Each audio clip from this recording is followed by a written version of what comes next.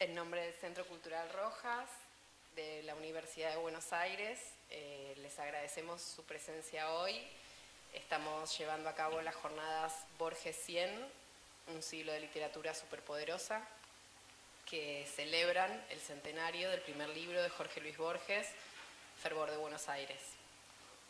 Eh, esta es la última de una serie de clases magistrales que hemos ido dando. Eh, en las anteriores contamos con la presencia de Magdalena Cámpora, Daniel Molina, Santiago Liach, Juan José Mendoza, David Oviña, Guillermo Saavedra, Eduardo Estupía y hoy eh, contamos con Silvia Iparrairre, a quien le agradecemos muchísimo en nombre de, la UBA, que también es su casa, estar acá. Todas estas charlas que ya ocurrieron están disponibles en el canal de YouTube del Centro Cultural Rojas eh, y el registro estuvo a cargo de UBA Web TV. Ahora la voy a presentar a Silvia, que muchos quizás ya conocen sus pergaminos, pero vamos a decir algunas mínimas cosas. Silvia es escritora, filóloga, eh, egresada y docente de la Universidad de Buenos Aires. Eh, ha publicado ensayos y novelas, eh, entre ellos se destacan eh, El muchacho de los senos de goma, La tierra del fuego, bueno, y muchísimos otros. Ahora se encuentra compilando sus seminarios de literatura rusa y hoy dejó un poquito esa tarea para acompañarnos y contarnos sobre Borges. Así que le agradecemos mucho, espero que lo disfruten y bueno, al final pueden hacer preguntas. Muchas gracias. Gracias, Nati. Eh, hola, bueno, saludo a las heroínas, no alcanzo a ver bien por la luz, del día de hoy tan, tan frío, que provoca también mi afonía, así que me disculpo, que están acá en la sala. Em, yo voy a hacer un mix, digamos, voy a hablar de Fervor de Buenos Aires desde distintos ángulos desde distintos ángulos, pero para plantearnos el libro tal como fue y salió y lo que lo rodeó en su momento, tengo algo escrito que va a ser la base sobre la cual yo voy a traer otras cuestiones sobre Borges, eh, que me interesa muchísimo porque, como el mismo Borges dice y nunca se equivoca en literatura, Fervor de Buenos Aires anticipaba todo lo que él iba a hacer. Es el libro que él permite después eh, de, cortar muchas de sus obras como eh, este, discusión, como... Mm, bueno, ya, volveré sobre eso, pero queda Fervor de Buenos Aires, Luna de Enfrente, Cuaderno San Martín, como los tres libros de la década del 20, la década de la vanguardia, y Borges dice eso en el prólogo. Fervor de Buenos Aires, posiblemente que anticipa su obra, eh, por lo que mostraba y por lo que prometía, lo que dejaba entrever y lo que prometía. Entonces voy a leer esta primera parte, no se aflijan, son ocho minutos, y después voy a ir a los temas que, eh, digamos, orbitan alrededor de este libro que me importa mucho eh, tocar. Yo siempre, yo estaba siempre y estaré en Buenos Aires. Ese es el título que le di a la charla de hoy sencillamente porque es una, eh, digamos, profecía autocumplida de Borges. Esto lo escribe en un libro publicado en 1923, referido a los años que pasó en Europa. Yo estaba siempre cuando estaba allá y estaré en el futuro en Buenos Aires y hoy, 100 años después, Borges está y va a seguir estando en el futuro. En 1923, en una, edición de 300 ejemplares costeada por su padre Jorge Guillermo Borges y con tapa ilustrada por su hermana Nora, aparecía para admiración de un acotado círculo de lectores porteños fervor de Buenos Aires. Es fama el modo insólito que ideó el joven y pudoroso poeta para distribuirlo. Cuando dejaba las reuniones se acercaba subrepticiamente a los percheros y deslizaba un ejemplar en los bolsillos de los sobretodos.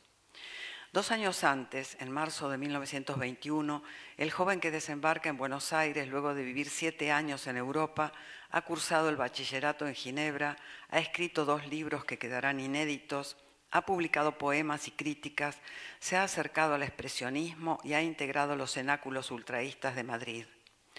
Desde su infancia su familia supo que sería escritor y lo alentó y preparó para esa empresa.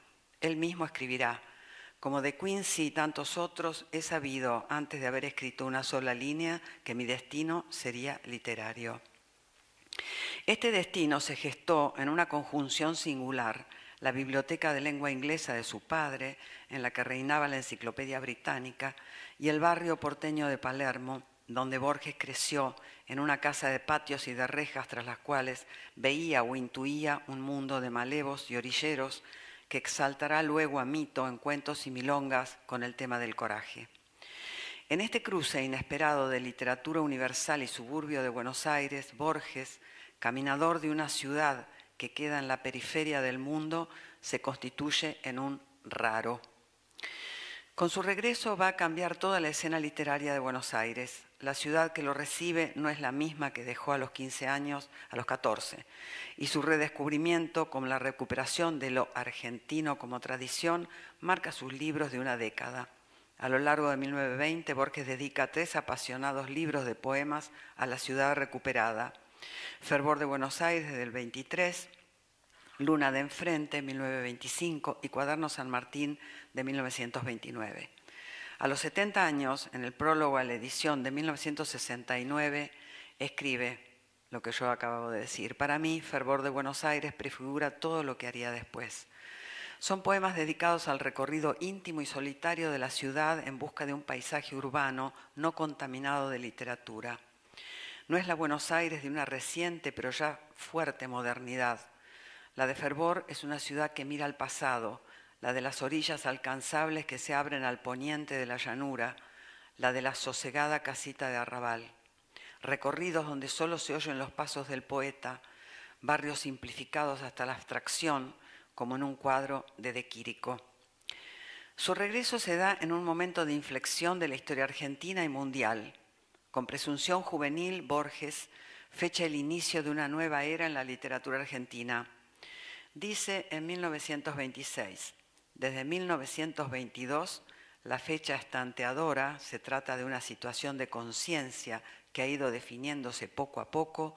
Todo eso, las obras de Darío, Lugones, Rodó, ha caducado. Más allá de la infatuación de englobar en eso a toda la literatura anterior y la liquidación que propone, Borges tiene razón. Con la Primera Guerra Mundial concluye el siglo XIX. Luego de la posguerra ya nada será igual y la nueva generación vive en completa conciencia el nuevo siglo y la nueva sensibilidad. De cara a los movimientos europeos nacen las vanguardias latinoamericanas en el proceso confluyen exploraciones formales y la búsqueda de una identidad, de un origen y de una originalidad. Los temas qué es ser argentino y qué es el ser nacional ocupan el centro de las discusiones intelectuales. En este marco, a Borges le interesará tanto revisar o denostar la literatura alta oficial de Rojas y Lugones, como dedicarse a fenómenos laterales e impensados en esos años, como la poesía menor suburbana de Evaristo Carriego. Son años en que la vertiente vanguardista ideológica está marcada a fuego por la Revolución Mexicana y la ola mundial de entusiasmo que causó la Revolución Rusa. El aire de la época es alborotador y el momento es de los jóvenes. Algo bien expresado por el mexicano Manuel Maples Arce cuando dice, en este instante asistimos al espectáculo de nosotros mismos. ¿Y quiénes son esos nosotros mismos en Buenos Aires? Son los jóvenes que como Borges y como Roberto Art son los habituales de las calles, de las redacciones de los diarios y revistas y de las tertulias de café, los portavoces de las polémicas culturales.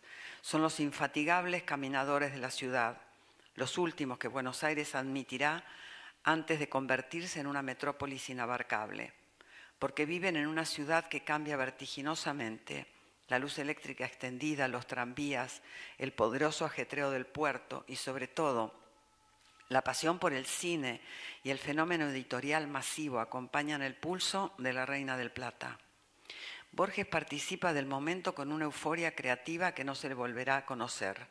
Escribe, funda revistas, irónico, barroco en su criollismo, interviene en polémicas más o menos amistosas, traduce a Joyce y colabora en publicaciones extranjeras una actividad intelectual continua y desafiante frente a la literatura anterior. Porque es Borges, como centro de la escena literaria porteña y sucesor natural de Lugones, quien finalmente produce el ambiguo destronamiento del maestro, a quien llama, entre sus pares y en un poema burlesco, don Leogoldo Lupones. Pero si bien Borges se erige único en su singularidad y portavoz indiscutido de su generación, constituye solo una de las mitades de esa renovación de los años 20 que, se que inicia con fervor de Buenos Aires. La otra mitad está en la obra de Roberto Art. Sus virtudes y diferencias crean una dupla única en la historia de la literatura argentina. En ambos, Buenos Aires se nos muestra vivida por dos subjetividades antagónicas, proyección de dos hombres distintos, tanto en sus vidas y sus literaturas como en su manera de ver el mundo y en sus estéticas. Borges y Art encarnan dos universos contrapuestos y la Buenos Aires recorrida por cada uno de ellos y representada en sus libros y en sus aguafuertes es sustancialmente diferente. La actividad intelectual y la bohemia porteña, el ruido del centro, no entran en fervor de Buenos Aires. Su tono es íntimo, recatado y personal. La ciudad que Borges encuentra a su regreso está, como vimos, en pleno cambio y la nostalgia por aquella Buenos Aires que vivió en su infancia y que desaparece rápidamente con la modernización es la que sostiene los versos y a la vez lo confirma en el orgullo de ser uno de los ciudadanos de la mayor ciudad de lengua española y cabeza espiritual del continente.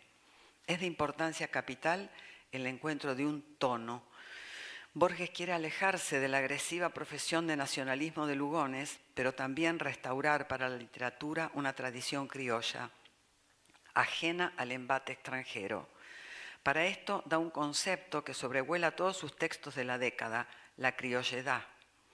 En el conversado e íntimo tono de sus poemas, Borges exhibe un linaje criollo y en el mismo movimiento refuerza el tradicional aborrecimiento argentino por la españolada. Las palabras que emplea de diccionario de argentinismos, como el tono y la entonación de los versos, son una contraseña lingüística y la afirmación poética de un nacionalismo que no tiene las connotaciones oscuras que tendrá después.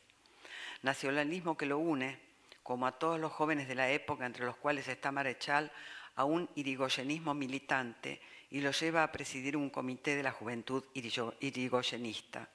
Y si bien Borges siempre se equivocó en cuanto a lo popular, algo que le era ajeno, ya que fue conservador la mayor parte de su vida, este costado de fervoroso militante político de su juventud es una de las razones que precisamente la palabra fervor de su primer libro cubre semánticamente. El fervor de Borges, en Borges, su apasionamiento será una constante en su vida y desmienten en parte la imagen de flemático caballero inglés que la iconografía posterior ha simplificado. Pero como siempre en cuestiones de literatura, Borges, tuvo razón. En su primer libro está la esencia de lo que vendría después, el tono, la parquedad buscada, el artificio de la sencillez y la que será la ejecución borgiana por excelencia, acriollar temas universales y universalizar temas particularísimos de Buenos Aires, porque se propone sofisticado lector universal y a la vez que escritor de coloquialismos rioplatenses, grafías y barroquismos de los que renegó en su madurez. Con estos artificios en fervor de Buenos Aires, Borges descubre los antiguos hitos de su propia historia y el cementerio de la Recoleta, al que el joven que se proyecta hacia la vejez nombra como el lugar de mi ceniza. Esto es para situar este libro, el primero de Borges, pero que además de todo lo que intento simplificar en este artículo, nos, hace, nos pone frente a determinadas preguntas. ¿Cómo era este, lo que hoy diríamos un chico de 22 años, 21, que desemboca en Buenos Aires? Un muchacho, un joven, como se diría en los años 20. ¿Quién era? ¿Cómo era su casa? ¿Por qué aparece este volumen pagado por padre? Borges nunca dijo mamá o papá, padre y madre, que vamos a ir a ver que eh, ejemplifican dos universos domésticos en pugna, no en pugna, sino que eh, cada uno de ellos con sus eh, argumentaciones sentimentales para el niño Borges. Entonces, este libro contiene también esas dos vertientes domésticas. La casa de Borges, cuando él y su hermana Nora eran chicos, antes del viaje a Europa, y después también, pero principalmente, esa configuración familiar implicaba tres personas, padre, madre y la abuela Fanny Haslam, la abuela inglesa de Borges. Eh, pero juntamente con las personas y, los, y el parentesco, la madre, el padre y la abuela, aparecen también el cruce de que Borges va a llamar la discordia de mis dos linajes en el sur. En la discordia de mis dos linajes, dice Dalman, había elegido el de un antepasado de muerte romántica, que es precisamente el antepasado Borges, el padre de su padre. La gravitación del padre y la madre de Borges sobre este niño es definitiva. Borges tuvo una lealtad a su clan familiar núcleo toda su vida, nunca dejó traslucir algo que fuera más allá de lo establecido, es decir, la intimidad de ese hogar. Se conoce lo que dijo Borges, lo que dijo Leonor de Borges, pero sabemos que el inglés y el español formaron la niñez de Borges, la niñez lingüística, el bilingüismo de él y de su hermana. Desde ya tenían una institutriz inglesa en la casa. Pero no es casual que, digamos, no es casual, sino que forma parte de esa configuración estas dos lenguas, que estas dos lenguas fueran una, en esa instancia la lengua de la cultura, la inglesa, esa es la biblioteca del padre, que eh, Jorge Guillermo Borges le abre a su hijo a los nueve años diciéndole podés leer lo que quieras. La, está, está eh, digamos, apuntalada este prestigio por la abuela, lectora de Dickens y de Zachary, a quien Borges recuerda hablándole en inglés desde el primer momento. Borges, su primera lengua es el inglés, su abuela lo sentaba en la falda y le enseñaba, un silabario por el cual había aprendido también su padre. Y la que queda relegada en ese momento de la configuración familiar es Leonor Acevedo de Borges, o sea, el español. El español entra tardíamente, no es eh, la lengua del prestigio de la cultura que trae la lengua inglesa, pero en definitiva, en la discordia de sus dos linajes, Borges, para su literatura, va definitivamente a elegir el español. Y no el español, y esto es algo que vamos directamente a fervor de Buenos Aires, sino el rioplatense. Es decir, en la discordia de sus dos linajes, Borges va a tener una admiración y un amor por su padre superlativos, eh, y va a seguir una línea que le indica a su madre, que es el español, que trae consigo las guerras de la independencia, la memoria de los mayores, el aguatero, Rosas, todo un mundo eh, imaginario de daguerrotipos que están también en fervor de Buenos Aires, ahora voy a leer, y que vienen del lado de madre. O sea que madre, la madre, eh, empieza a hacerse cada vez más importante en esa configuración inicial. Sin embargo, padre va a tener un peso decisivo porque es quien lo inicia a Borges en lo que más tarde será su la intertextualidad permanente de sus textos. Es decir, lo inicia en la filosofía, en las matemáticas y en la literatura inglesa. Pero el padre hace esto dándose cuenta, o sea, esa pareja se da cuenta que ese chico eh, tiene el destino señalado, tiene un destino de escritor. Eso lo dice Borges. Yo, como de Quincy, como tantos otros, antes de escribir una sola línea, supe que mi destino sería literario. Los padres también lo saben, se dan cuenta de la precocidad de este chico, un poco alucinante. A los nueve años, como todos sabemos, eh, traduce el príncipe feliz de Wilde. Todos creen que la traducción es del padre, ¿no? Y lo felicitan, es de este chico de nueve años. El padre un día le hace una prueba y le dice, le muestra una naranja y le dice, ¿dónde está el sabor de la naranja? Borges dice en la naranja, Borges niño, o sea, Georgie, el chico, dice en la naranja. El padre le dice, lo mejor. El chico lo piensa y dice, no, está cuando como la naranja. Que es una premisa de Berkeley, del idealismo. Es decir, essere es percipit, dice Berkeley. Es decir, ser es ser percibido. Algo que no es percibido no existe. Y está la famosa metáfora de un bosque en un lugar solitario, absolutamente desierto, y pregunta Berkeley, no tiene que haber animales, no hay nada, si se cae un árbol, ¿se hace ruido? Es una pregunta para decir, no hay nadie para percibir ese fenómeno. ¿Hace ruido? ¿Hay alguien que perciba eso? Esta es una primerísima intuición de Borges acerca de Schopenhauer y de Berkeley, que van a ser dos eh, filósofos que están en Fervor de Buenos Aires. Ahora vamos a ver ese poema. Eh, y es padre quien lo inicia, pero no en la teoría, no lo manda a los libros, sino que lo hace pensar. Incluso Borges Niño es testigo de ciertas perplejidades de este hombre, que fue un personaje muy singular, padre y tutor, Jorge Guillermo Borges, un, hombre bastante singular en sus lecturas, en, en su comportamiento, era un señor victoriano, eh, de lecturas múltiples, heterogéneas y muy extrañas, porque uno de sus favoritos, además los románticos eh, ingleses, era Swinburne, y Swinburne es un poeta inglés muy, muy transgresor, muy parecido al Rimbaud eh, francés, o sea, un poeta que tocaba la homosexualidad, el ateísmo, antirreligioso, es decir, tenía toda una serie de conductas literarias que hubieran sido reprobadas en la época de Wilde, ¿no? sin duda lo fueron, pero esa era una de las grandes lecturas del padre de Borges. Es decir, es un hombre desprejuiciado. Dos de sus amistades van a ser heredadas por Borges. Uno es Macedonio Fernández, que venía a la casa porque era condiscípulo del padre, y el otro era Evaristo Carriego, al que lo unía una amistad muy lejana porque la familia de los Borges era entrerriana, era de Paraná. Y también eh, el padre de Carriego era también de Paraná, entonces eran como coprovincianos, digamos, el padre de Borges y Carriego.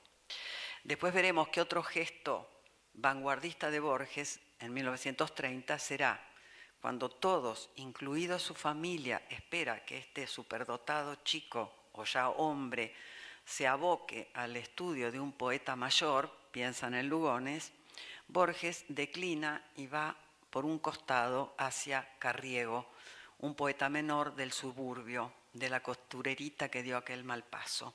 Pero bueno, volvamos a este joven eh, que llega a Buenos Aires, muy marcado por la influencia del padre. En Ginebra se, se hace eh, políglota en su esto es una marca muy importante para su vuelta a Buenos Aires. En el bachillerato es, eh, un excelente alumno de latín, se transforma casi en un latinista, después va a seguir en Mallorca, en España, con un sacerdote, su estudio de latín, aprende solo alemán, leyendo a Heine y con un diccionario, tiene que aprender francés porque va al Liceo Calvino, que se dicta en francés, y el inglés es su lengua casi, no materna, pero su lengua inicial. Así que esta poliglosia, este manejo de lenguajes, cuando él vuelva y se inserte en el mundo intelectual de Buenos Aires, el de la vanguardia, va a ser otro de los rasgos que lo van a distinguir.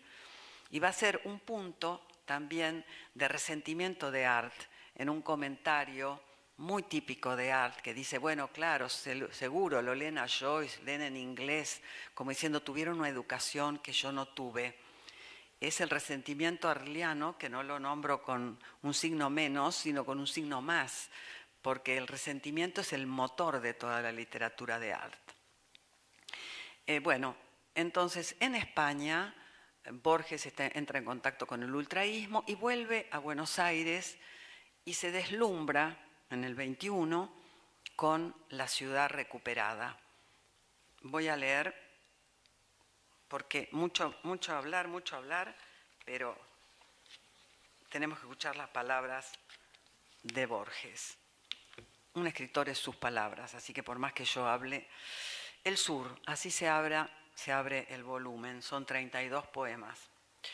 desde uno de tus patios haber mirado las antiguas estrellas, desde el banco de sombra haber mirado esas luces dispersas que mi ignorancia no ha aprendido a nombrar ni a ordenar en constelaciones, haber sentido el círculo del agua en el secreto aljibe, el olor del jazmín y la madreselva, el silencio del pájaro dormido, el arco del zaguán, la humedad.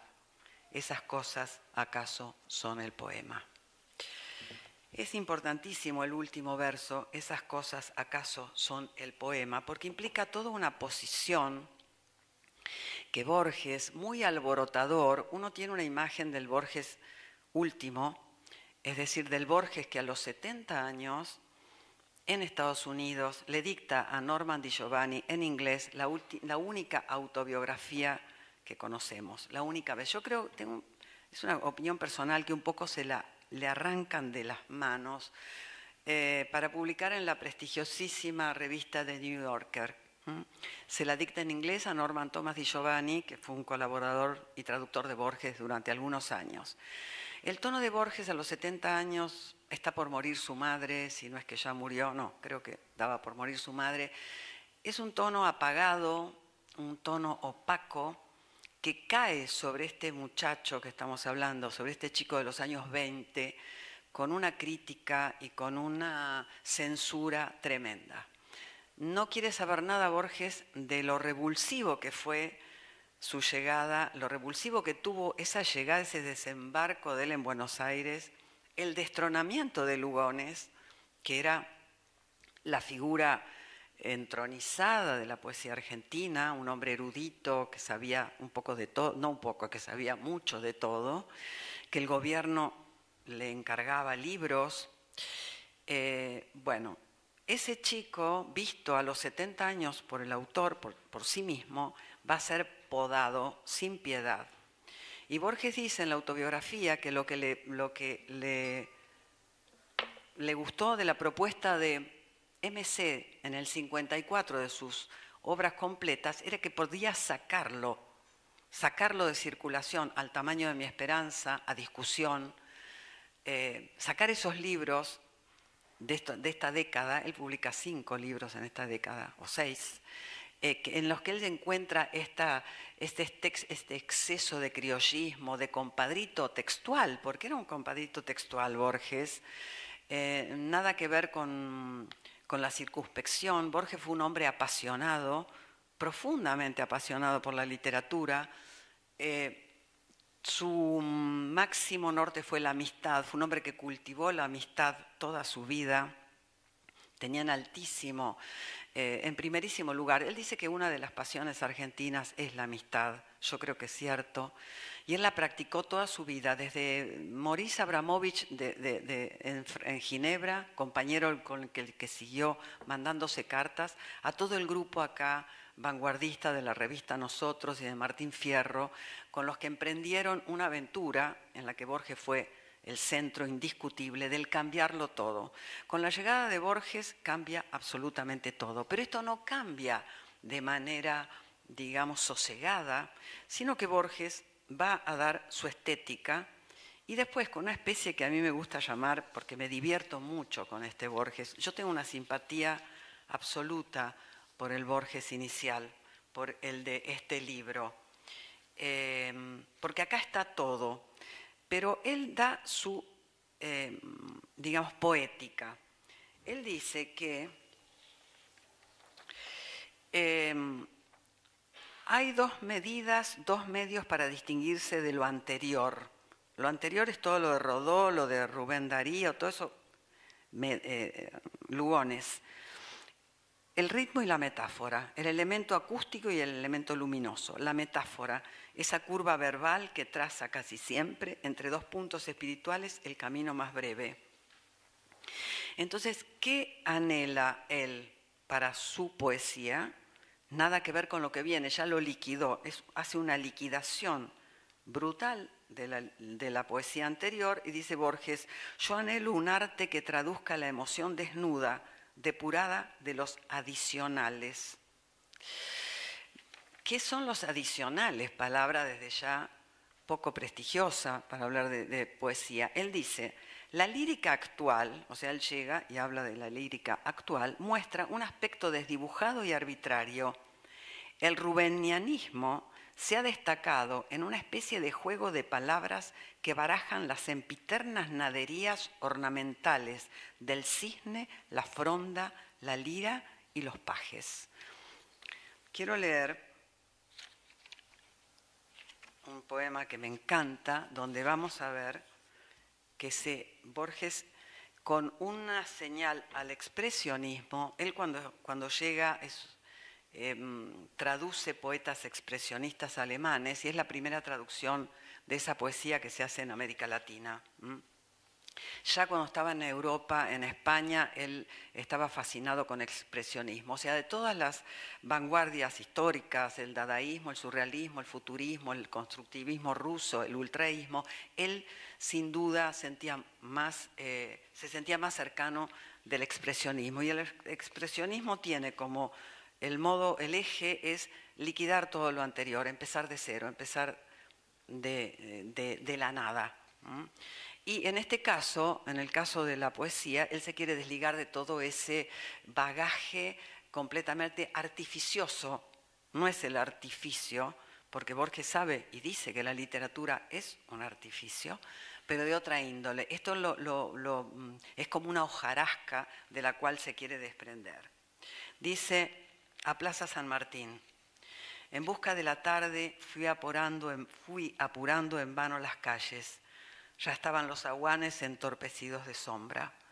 Con fino bruñimiento de caoba, la tarde entera se había remansado en la plaza, serena y sazonada, bienhechora y sutil como una lámpara, clara como una, frente, grave como ademán de hombre enlutado. Todo sentirse aquieta bajo la absolución de los árboles, jacarandás, acacias, cuyas piadosas curvas atenúan la rigidez de la imposible estatua y en cuyas red se exalta la gloria de las luces equidistantes del leve azul y de la tierra rojiza. Qué bien se ve la tarde desde el fácil sosiego de los bancos. Abajo el puerto anhela latitudes lejanas y la honda plaza igualadora de almas se abre como la muerte, como el sueño. Acá está la metáfora que él pide bienhechora y sutil como una lámpara, clara como una frente, grave como ademán de hombre enlutado. Dice Borges que yo anhelo un arte que traduzca la emoción desnuda, depurada de las adicionales, y que el escenario por el cual va el poeta es un instrumento del yo poético, tiene que pasar la experiencia por ese yo poético y expresarse y eso es el expresionismo. Hay un pintor extraordinario, Edvard Munch, que cambió la pintura contemporánea del siglo XX y fue un expresionista que tiene una frase que se toca totalmente con Borges y es, no pinto lo que veo, sino lo que vi. ¿Qué quiere decir esto? en el expresionismo. No pinto lo que estoy, no, hago una mímesis, no estoy copiando como el impresionismo, sino que lo que estoy mirando, lo que veo de la realidad, de las personas, de lo que sea, pasa a través de mi yo, de mi subjetividad y después aparece. Era, eh, Munch pintaba incluso un retrato, tenía presente el modelo, lo miraba fijamente durante un tiempo y después se ponía a pintar no lo podían entender, no sabían, yo tampoco sé cómo no podía mirar, volver a mirar, pero eso es lo que hacía, o sea, tenía que ser un instrumento, la realidad que pase por la subjetividad del poeta. Pero bien, esta es una de las cuestiones de, eh, este eh, escritor extraordinario que va a ser sobre todo un lector. Para aquellos que no leyeron este libro, o que se acercan a Borges por primera vez, no sé hasta dónde llega el streaming, quiero decirles que Borges es antes que nada un lector. O sea, uno tiene que leer a Borges como un lector, antes que nada. Em, hay una frase de Roland Barthes que se aplica a mí perfectamente a Borges, sin hacer ningún, sin forzarlo. Dice Barthes en eh, Sade, Fourier y Loyola. Es un libro sobre estos tres eh, escritores, Sartre, Fourier y Loyola. Loyola escribió eh, San Ignacio de Loyola, ¿no? Toda la, compañía de Jesús está, eh, todas las, leyes, las normas están escritas por él. La única reacción posible de estos autores rupturistas es fragmentar el antiguo texto de la cultura, de la ciencia, de la literatura y diseminar sus rasgos según fórmulas irreconciliables del mismo modo que se maquilla una mercadería robada. Son inventores de escritura y operadores de texto. Y esto para mí es Borges. Borges, ¿qué hace como lector? Lo dice en el, escritor argentino y la tradición. Nos debemos a, a la gauchesca, somos, se pregunta él desde la vanguardia, un poco después, ¿a quién debemos la literatura argentina? ¿Al pasado de la literatura gauchesca? Demuestra que no. ¿A España? demuestra que no. Entonces dice finalmente que felizmente no le, no debemos a nadie, es decir, no venimos de ningún lugar que debemos, eh, al cual debemos atención, sino que estamos libres para ser deudores de toda la cultura occidental. Y es lo que hace Borges. Borges lee la cultura occidental, llámese, como dice acá Bartes, y la, ley, la literatura, la ciencia, la cultura, y yo eh, agregaría la religión, porque Borges lee la religión y toma, la, toma eh, fragmentariamente aquello que le sirve para su literatura. Siempre dijo que la, la religión era una especie de ciencia ficción, no una especie, que la Santísima Trinidad era eh, era mm, una, especie de, apuesta de ciencia ficción. O sea que toma elementos de la cultura occidental y oriental, lo fragmenta y lo disemina en su obra. Acá, en Fervor de Buenos Aires, van a encontrar un poema, miro la, la hora, estoy apurada, van a encontrar un poema en el cual él cita a Schopenhauer y Berkeley. Es ese esa lectura que le indicó su padre cuando le hizo el experimento del idealismo. Van a encontrar a Walt Whitman, van a encontrar a los daguerrotipos y a la, eh, a la elección de Borges del español rioplatense. Lo van a encontrar después en el, el lenguaje de los argentinos, donde él defiende el modo de hablar rioplatense. Borges es el escritor que más ha utilizado la palabra patria entre los escritores argentinos, pero nunca la usa con mayúscula. Ahora la tan llevada y traída palabra patria, la usa siempre en minúscula y con respecto a sentimientos profundos como son una guitarra, el campo, la pampa, el suburbio. En este libro, por otra parte, Borges inaugura un cronotopo, o sea, un cruce que va a ser va a pesar como un lugar común en nuestra literatura posterior. Él llega siempre hasta el límite, los bordes de la ciudad, allí donde empieza la pampa, la callecita que termina en donde, donde está por caer el sol, en el poniente, dice Borges, en esas calles que ya se, se acogen a la caída de la noche, esa calle solitaria, transitada solamente por él, esa orilla de la ciudad, a la cual él va a elevar casi a mito con el orillero, uno de los personajes de muchos de sus cuentos, el compadrito, y sobre todo de Hombre de la Esquina Rosada, su cuento inaugural. Pero eso es un topos, es un lugar común de la literatura argentina, la orilla, el lugar donde la ciudad lucha con la pampa. En eh, El tamaño de mi esperanza, Borges tiene un texto que se llama El suburbio y la pampa son dioses. O sea, este énfasis es el que Borges trataba de aplacar y recortar. Eh, felizmente esos libros se publicaron y lo tenemos este Borges completo. Ahora bien, hay otra operación que hace Borges, que es el Borges que es a la vez siempre, además de este inmenso lector, la crítica mundial lo ha visto como el gran lector de todos los tiempos, como el, arquetipo del lector. Eh, este lector hace operaciones constantes sobre su propia obra, es decir, Borges edita, recorta, saca, pule, mezcla, hace intertextualidades de su obra. Esto lo voy a demostrar en un texto bastante insólito de Borges, en un poema de Fervor de Buenos Aires, ya está esta, operación que hace él. por ejemplo, perdón, me voy para un lugar, pero hablo siempre de lo mismo. Botana, cuando Borges empieza a publicar en Crítica, que es un diario popular, Botana, el dueño, eh, él empieza a dirigir la revista multicolor de los sábados. Botana le dice que tiene que, eh, le gusta poner un tono eh, policial en las notas, que haya algo porque Art era famosísimo, se había hecho muy famoso con las aguafuertes, donde tenía un sesgo medio canallesco, bien de extramuros, ahí donde se lucía Art, eh, con los, dichos, los refranes, los modos, eh, y siempre había un tema policíaco. Eso le pide un poco Botana. ¿Qué hace a lo Borges? él empieza a publicar Historia Universal de la Infamia. Entonces, ¿pero qué hace Borges ahí? ¿Inventa cuentos eh, canallescos de asesinos o de, seres infames?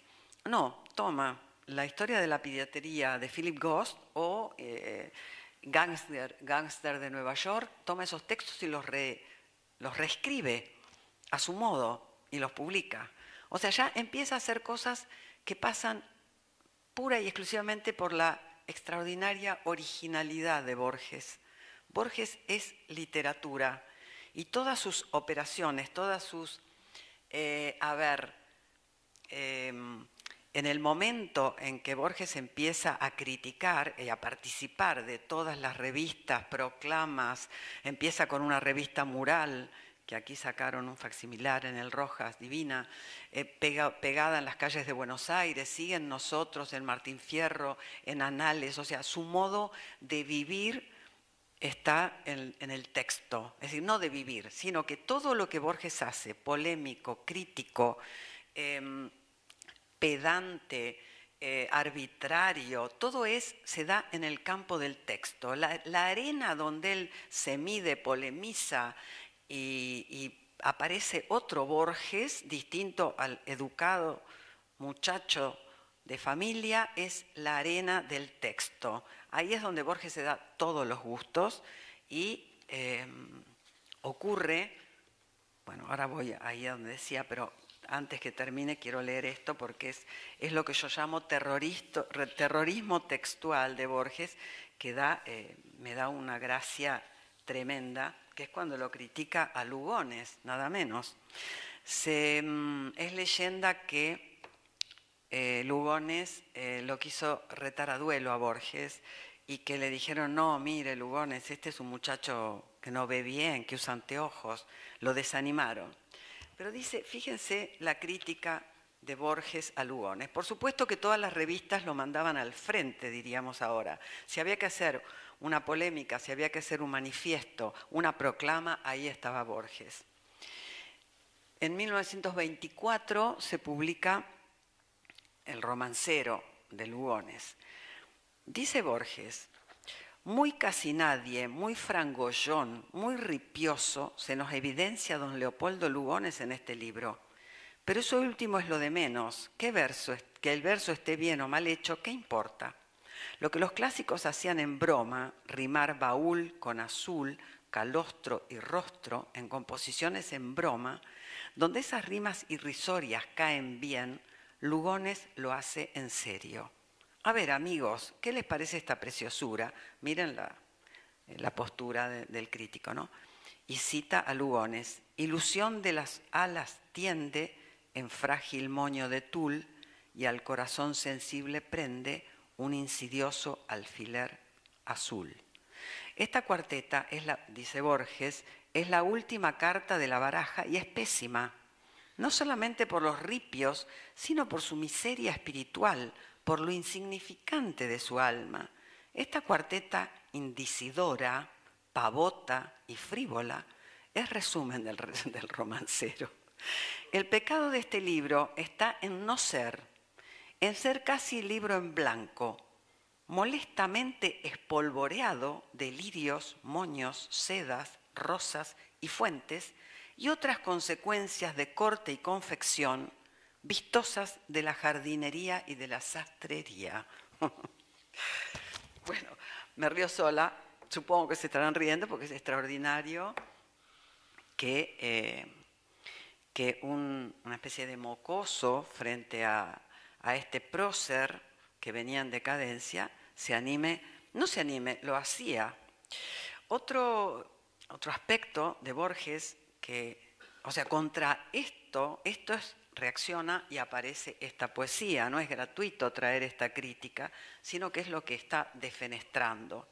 Después en El Hacedor, él va en un prólogo hermosísimo, él va a tratar de reivindicar su relación con Lugones.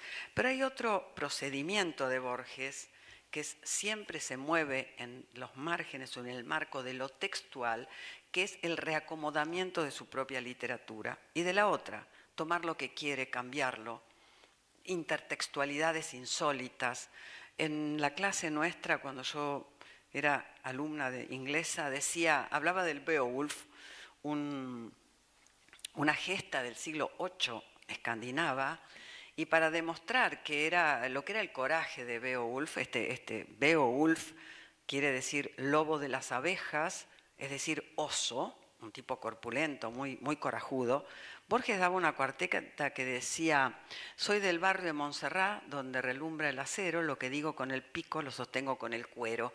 O sea que estaba juntando un eh, poema del siglo VIII con algo de barrial de Buenos Aires. Esa, eso alto y bajo, ese entrar en la cultura a todo trapo, es la, la operatoria mayor de Borges. No hay alto y bajo, no hay prestigioso, eso es fascinante. Borges a los 16 años pasa por Verona con los padres cuando van a Francia y en el anfiteatro romano a los gritos recita a Hilario Ascasubi, es decir, poeta gauchesco, versos gauchescos en Verona.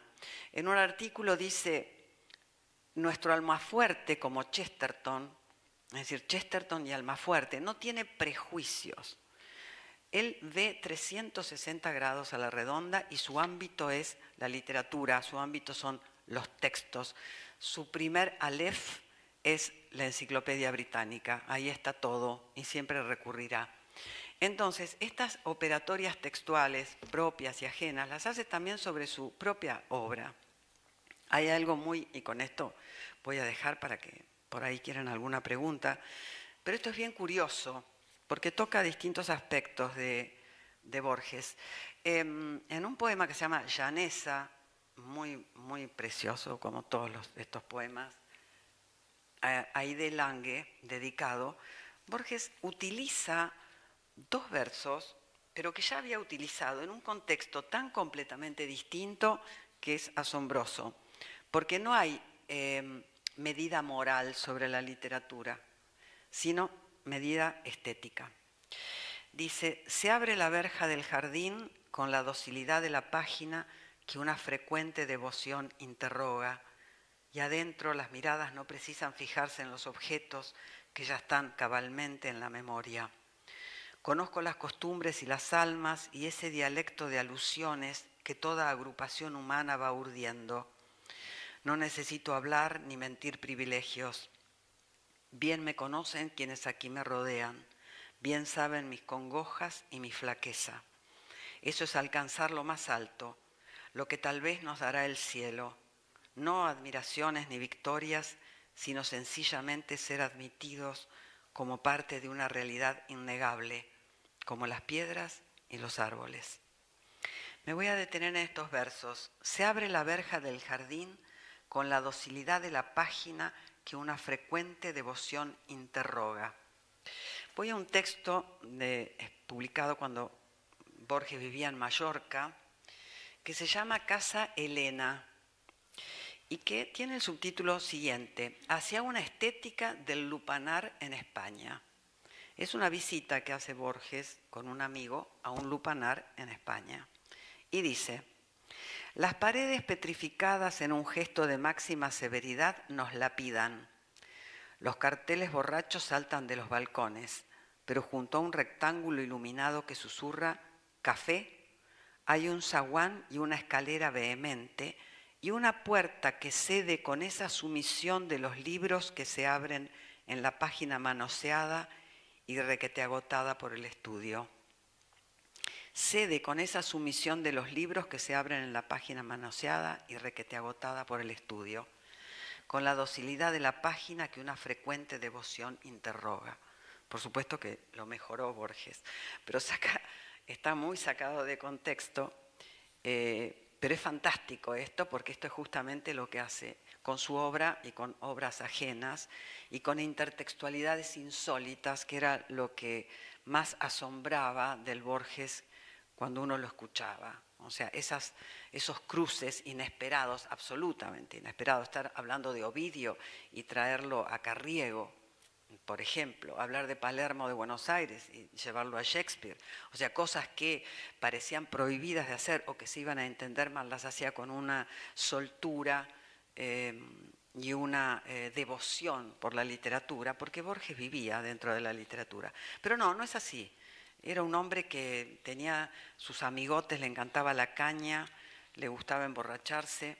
Era, hay una anécdota preciosa que es una chica que él le gustaba mucho, eh, y, pero para envalentonarse antes de ir a verla, supongo que sería en la casa de, Nora Lange, se tomaba unas cañas y mm, se va un día bastante contento porque había estado un poco había estado bien con la chica, había estado charlando, y cuando se está poniendo el sobre todo, escucha que la chica dice, me está gustando Borges, pero siempre viene borracho. Entonces, desde ese momento parece que dejó la grapa.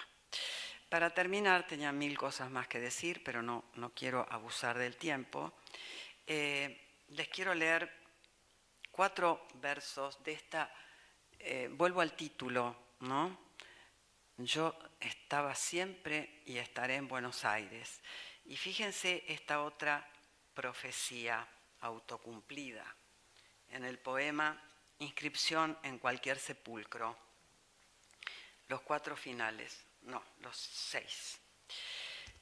Ciegamente reclara duración el arma arbitraria cuando la tiene asegurada en vidas ajenas, cuando tú mismo eres el espejo y la réplica de quienes no alcanzaron tu tiempo y otros serán y son tu inmortalidad en la tierra.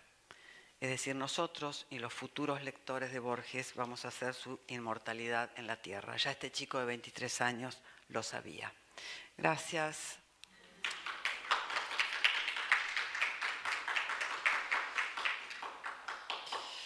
Bueno, gracias por estar por ahí. No los veo en absoluto por el tema de la luz, pero si quieren, estoy encantada. Hice un recorte brutal como Borges con su obra, eh, pero si quieren preguntarme algo, encantada. Anímense.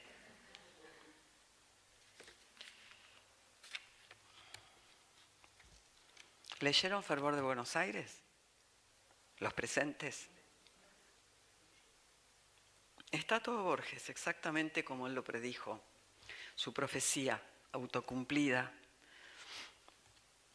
Está la elección del español como lengua literaria, por la que va a luchar Borges después. Luchar en el sentido intelectual. Está su padre en Berkeley y Schopenhauer. Está Walt Whitman, uno de sus grandes poetas admirados. Están los daguerrotipos que pertenecen a la lengua materna, al español, que él va a elegir, y a la familia de la madre.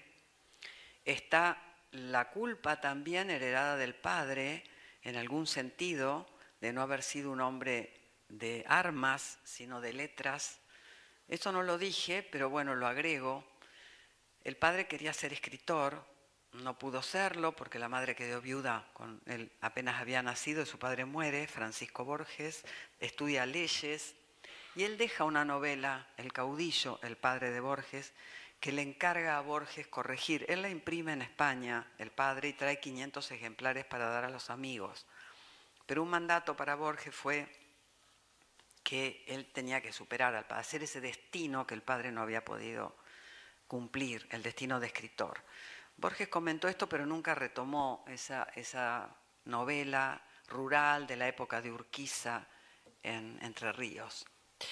Em, y los daguerrotipos lo llevan al poema conjetural, yo que fui hombre de dictámenes, a la disyuntiva, que en definitiva es la disyuntiva a los discursos de Don Quijote, de las armas y de las letras.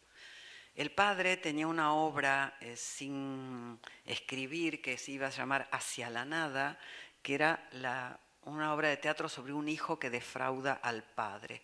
Es decir, el padre de Borges siempre sintió que defraudaba a su padre, que había muerto poniéndose ese poncho blanco y el pecho a las balas, siendo un hombre de leyes y de literatura. Eh, porque no fue que Borges defraudó a su padre, porque lo, yo creo que estarían orgullosos con creces. Bueno, les di un poquito de rato para ver si querían preguntarme algo. Un ratito, digo.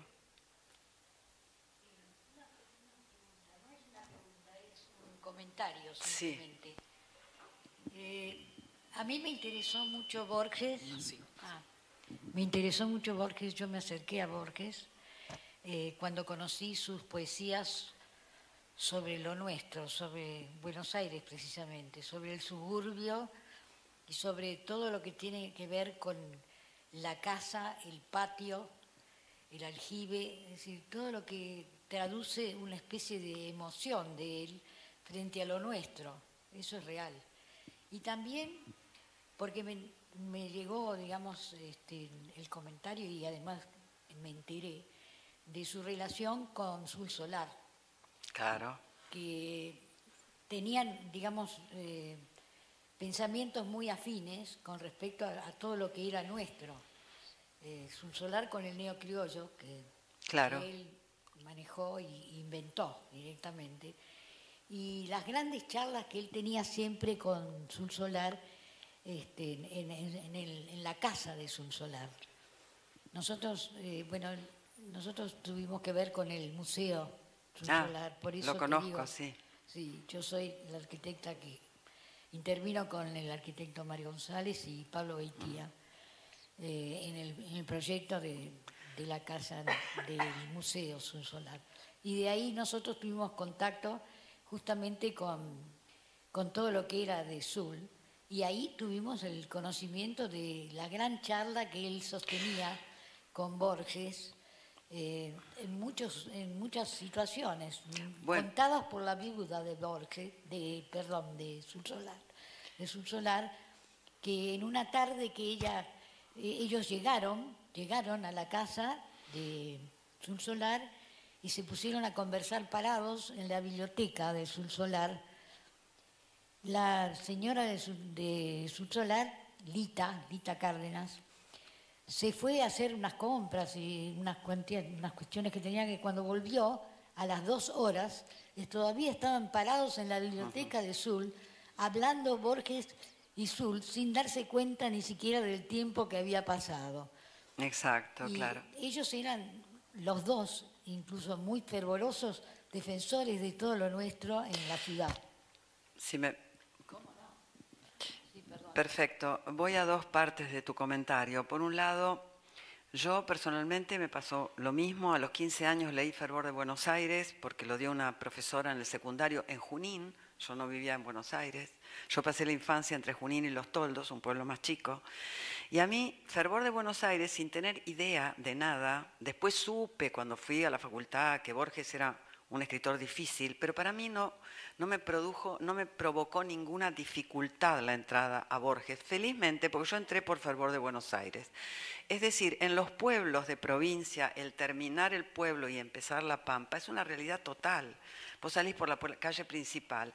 Es decir, esta metáfora que yo leí de, por ejemplo, Plaza San Martín, pero que está en todo, que es la metáfora que busca Borges, la emoción desnuda, llegó a una chica de 15 años que no sabía quién era Borges, pero le provocó tal emoción sentirse incluida, me estoy, me estoy como reinventando, no, me acuerdo, pero sé que me pasó eso, me sentí incluida en el libro, porque la profesora dio Campos Atardecidos, 2, 4, 5. Yo busqué el libro y lo leí. Y a partir de ahí no paré nunca de leerlo a Borges, porque Borges me incluyó.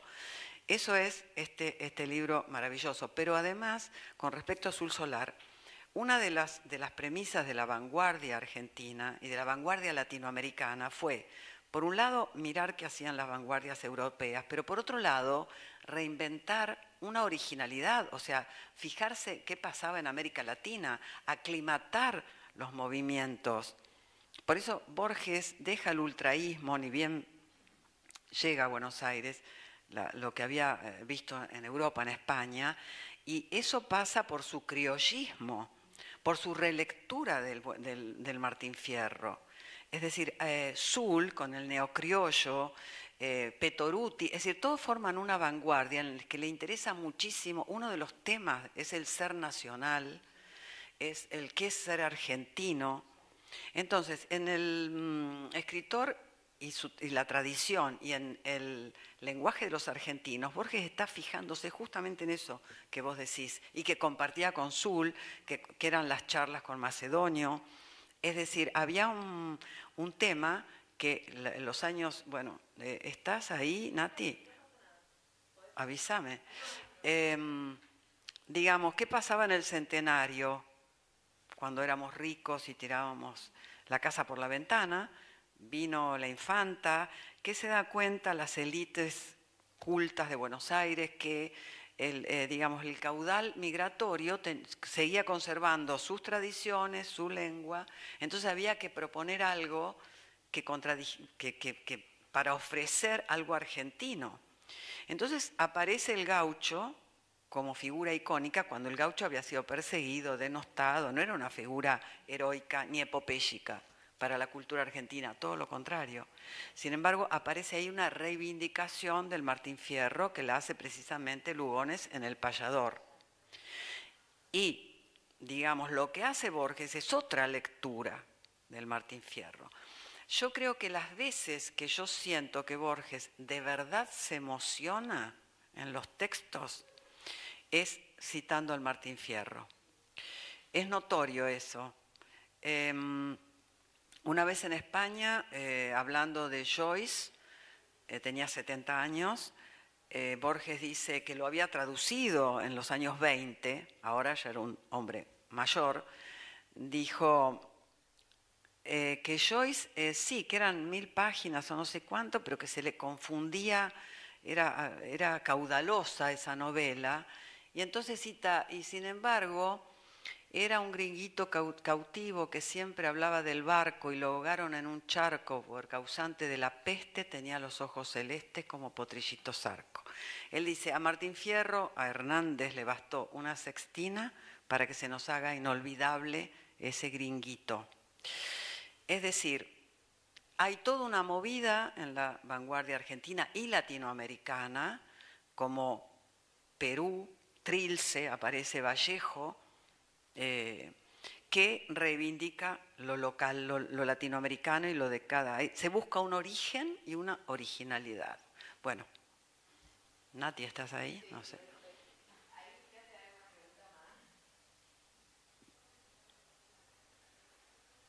Bueno, en este caso le agradecemos muchísimo a Silvia por haber venido y a todos ustedes por compartirlo acá. Y bueno, muchas gracias. Gracias, gracias a todos por venir en un día tan frío. Gracias.